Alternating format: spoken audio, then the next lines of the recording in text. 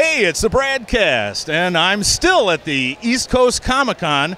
I'm here with comic book artist Eddie Avila, and we're going to talk about his new series, Day One. Hey, Eddie, how you doing? Good. How are you? I'm doing just fine. Tell me about the, the story, Day One, the comic. So day one uh, is the story of Pick Sampson, but unfortunately something happens where an outbreak and people are just devouring people. On day one of this new world, he loses everything. So it's his first day pretty much going forward in his new life.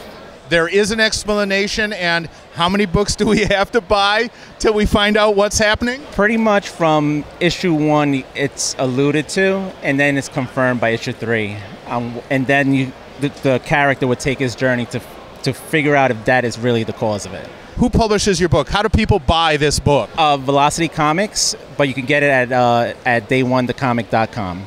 Now, are you doing this all yourself? Pretty much. I have two friends that are helping me with the publishing side, but I draw it, I write it, I ink it, and then I have a great artist that does the, the color work for me, and I have a great artist that does the lettering for me. This is some really graphic stuff. This is like PG 13, maybe PG, maybe NC 17. This is not for the squeamish. Yes, it's rated M for mature. Okay. I mean, but it could go 13. There's not that much cursing in it, but it is uh, a very physical. You're going to see a lot of action in it, and you're going to see a lot of martial arts in it that you normally wouldn't see in comic books, which kind of makes the book a little special. How's the response been? The response has been great. A lot of people are coming up to the table. They really like the artwork. They're liking the story when we talk about it, and you know, we've been doing pretty good.